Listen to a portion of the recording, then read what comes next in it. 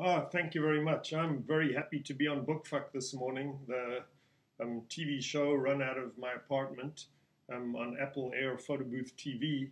And I'm here today to talk about my new book, Models Behaving Badly, which you can see over here. I just came back from a run in the park to kind of calm down so that I wouldn't be nervous when I spoke because I just received my new book and um, took it out of the box. Simon & Schuster sent it um, shipped it this morning, and as you can see, here it is, models behaving badly, and I want to share it with you. So here's the paper cover, it looks very nice, a dollar bill there to get the monetary theme. And now I'm taking off the cover, as you can see.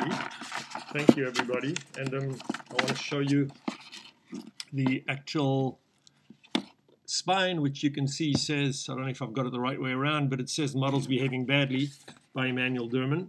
And um, now I want to open up the book and share it with you. It's very exciting. I'm going to give it to the students at Columbia, just took it out of the box.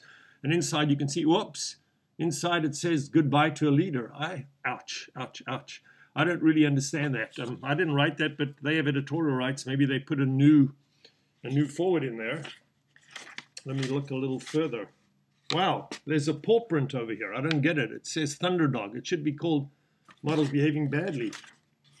Uh-oh. Uh, Thunderdog, the true story of a blind man, his guide dog, and the triumph of trust at ground zero by Michael Nelson with help from Susie Hingis. Susie Florey, excuse me. I don't really get this. With a forward by Larry King. This isn't my book at all. I don't know what's going on. I'm going to have to go and look into this. Sorry, excuse me for getting off the show. Oh, oh, what's this you say? Oh, um, I was downstairs uh, and I took a pair of trousers to be fixed by the Korean tailor, and he put a safety pin in my cheek. But um, he doesn't talk English.